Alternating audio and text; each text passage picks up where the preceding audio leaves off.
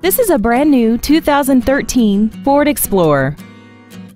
This SUV has an automatic transmission and an inline four-cylinder engine. Its top features include a rear view camera, 12 strategically positioned speakers, commercial-free satellite radio, big 20-inch wheels, and traction control and stability control systems.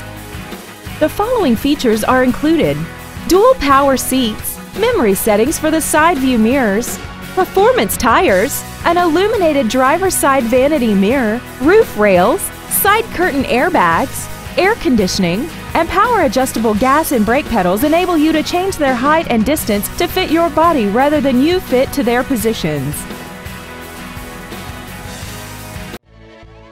Holiday Ford is dedicated to doing everything possible to ensure that the experience you have selecting your next vehicle is as pleasant as possible.